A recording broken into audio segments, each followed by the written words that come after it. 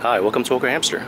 Today I'll be reviewing this LG G4 and I'm gonna get straight to the pros and cons. First thing is the 5.5 inch screen has a beautiful vibrant display. Next is the cameras on here. I shoot a lot of video, so both the front and the back cameras on here is far superior than my iPhone 6 Plus.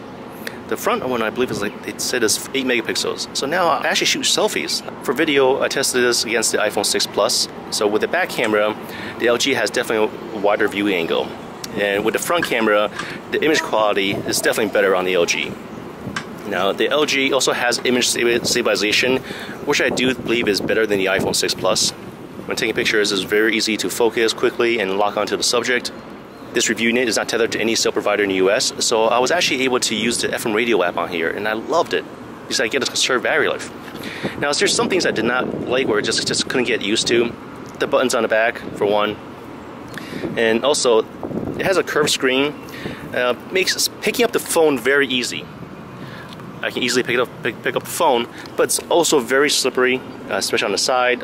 I, I'm definitely going to have to get a case for this even though the call quality with the handset is good, I did find that their speaker over here is weak.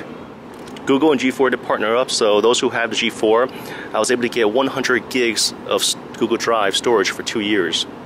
Even though this has a 3000 milliamp capacity battery, I found that the battery life on this was less than the iPhone 6 Plus. Uh, I would compare it more to the iPhone 5.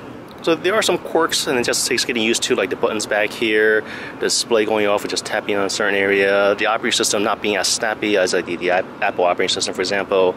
But overall, I do like this unit. I do see myself using it for the next few months and mainly because the image quality on the back camera and the front camera is just far superior than my current smartphones. Alright, so thanks for watching this review of the LG G4. LG did provide this unit review. If you guys have any questions, comments, suggestions, feel free to contact me. Thanks for watching Awkward Hamster.